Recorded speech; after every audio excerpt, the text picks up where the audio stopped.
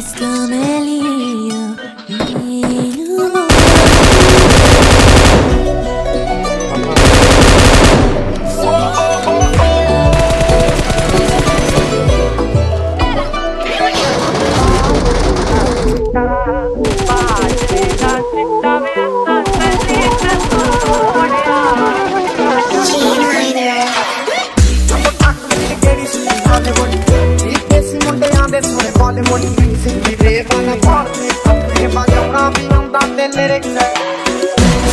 ਜਿਹੜੇ ਗੱਲ ਤੇ